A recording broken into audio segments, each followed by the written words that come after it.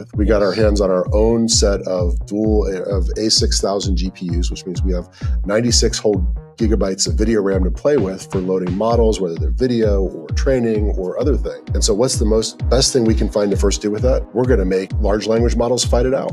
So uh, what you're going to see today is two large language models uh, controlling two Street Fighter characters and duking it out. It's on a simulated um, arena where each of the models are getting textual description of what's happening and from from the image of the screen it's able to find out where each of the characters are, and each of the characters are controlled by two different uh, large language models. One is Qwen 2.53b, the other one is Llama 3.23b. And what they are doing is they are looking at other players, where they are located, how much health they have, what moves they are playing, and they plan their moves accordingly.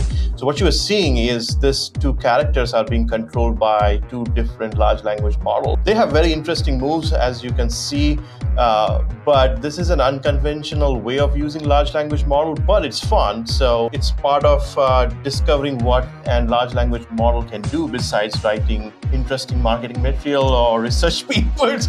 It is also planning moves yeah. ahead of time. So large language models tend to be slow, but here you can see they are planning moves quite a bit ahead of time and the emulator is yep. kind of taking them and running.